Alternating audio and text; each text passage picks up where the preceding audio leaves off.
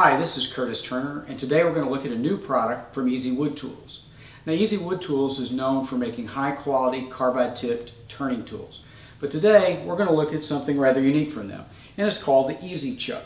This is an American-made product that carries a two-year warranty and has several very unique features, and we're going to take a closer look at those today.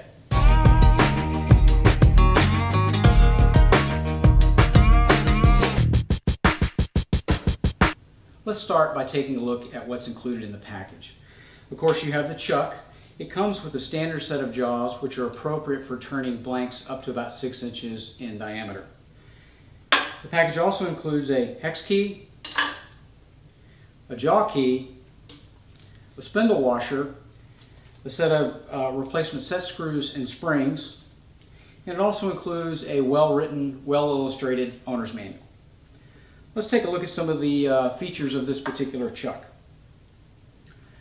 First, it's adjusted by using a hex key, which I really prefer the hex key style chuck key because it's very fast to get a quick positive engagement and tighten the uh, blank in the chuck. It's a little bit different than the typical uh, chuck keys where you may have to thread it through the outer body and engage the gears below, which sometimes can be a little bit tricky. One of the innovative features with the Easy Chuck is this zoom ring. And I can operate this just by rotating by hand and what this will do is expand and contract the jaws. And that allows me to quickly get a grip on a particular blank. Then of course you would want to switch to the hex key for your final tightening.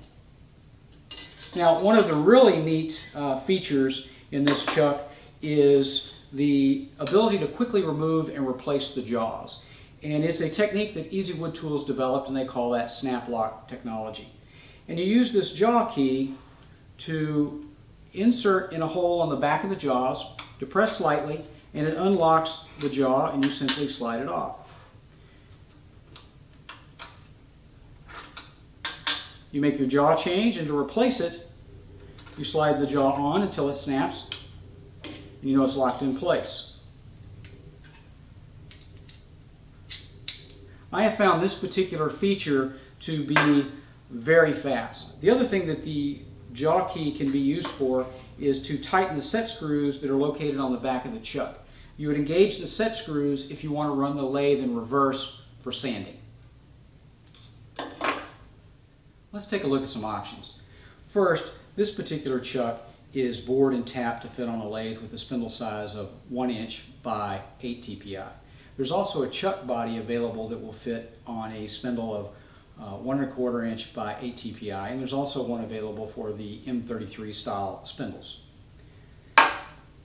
There's also an adapter available that will allow you to adapt a chuck body uh, bored and tapped with the 1 inch by 8 TPI threads and allow it to work with a lathe with a 1 and a quarter by 8 TPI style thread.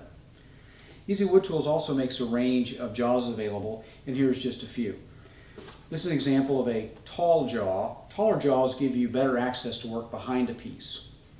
This particular jaw would be nice for grabbing very small tenons. This particular low profile style dovetail jaw would be good for working with uh, blanks up to about 12 inches in diameter. There are also several other jaws available uh, one appropriate for turning blanks up to about 24 inches in diameter. For the last few minutes I've been using Easy Chuck to hold this walnut blank. I've already done some work on the interior and I'm going to uh, do a little bit more work on it.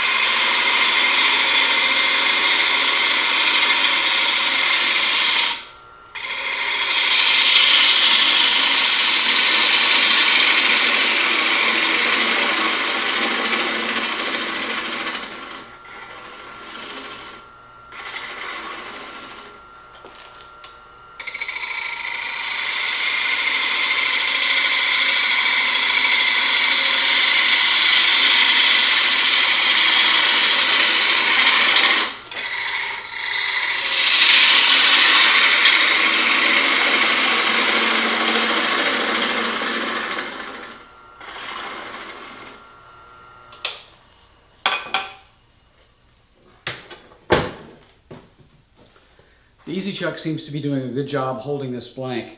Uh, what I'll do is I'll work a little bit more on the inside of this bowl and then I'll remove it from the chuck and then reverse mount it. Now I'm ready to reverse chuck this bowl and I wanted to show you how I do that. Take the hex key, loosen the, the jaws and remove the bowl. I have the spindle lock engaged and I'm going to insert this uh, glue block that I made from a piece of wood and some foam uh, packing material. And uh, I'll use the zoom rings to open that up. And then tighten the jaws down. And then use the hex key or chuck key and tighten it down. Unlock the spindle lock. Tighten the other side and then I'll remount the bowl. The reason I use this foam packing material is it gives a good positive grip to the blank and does not allow the, the blank to spin and it does not mar the interior of the bowl. Then I go through the process of just lining up and, and recentering the bowl and truing it up and then make sure everything is tightened down and then I'm ready to finish turning the bottom of the bowl. This is my shop assistant Carson and he's going to show you how to easily remove and replace the jaws on the chuck.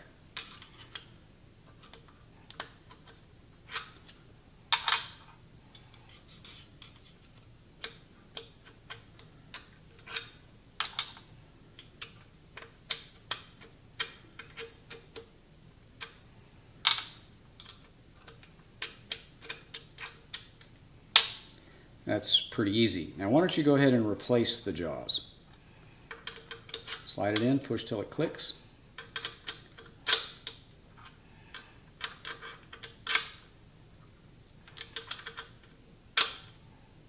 There you go. Good job. The Easy Chuck has several innovative features. For me, the most compelling benefit will be the speed in which I can remove and replace the jaws. I think this will prove to be a real time saver for me. I hope you take the time to review some of the features and benefits of this well-made American chuck and maybe it'll find a place in your shop.